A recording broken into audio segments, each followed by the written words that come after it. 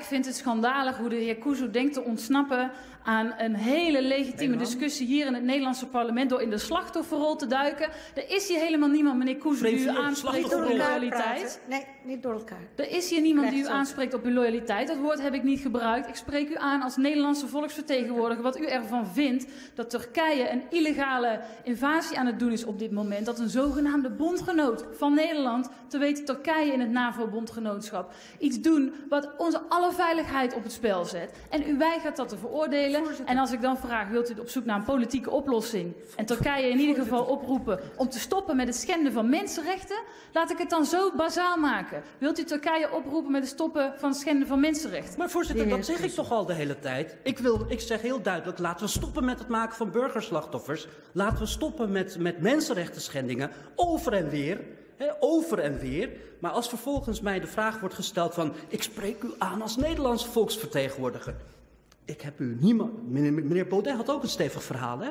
Ik heb, hem tegen, ik heb u tegen meneer Baudet niet horen zeggen... zeg dat is vanuit het perspectief van de Nederlandse volksvertegenwoordiger. Voorzitter, ik vind het schandalig. Ik vind het schandalig dat, dat ik word hier gewoon etnisch geprofileerd. En op het moment dat je opkomt... aan, kom Ja, aan. wacht maar. Meneer op het moment dat je opkomt voor je rechten en je opkomt voor je mening... dan is het, je bent de slachtoffer. Voorzitter, ik verwerp dat. Tot slot, mevrouw Marijnissen.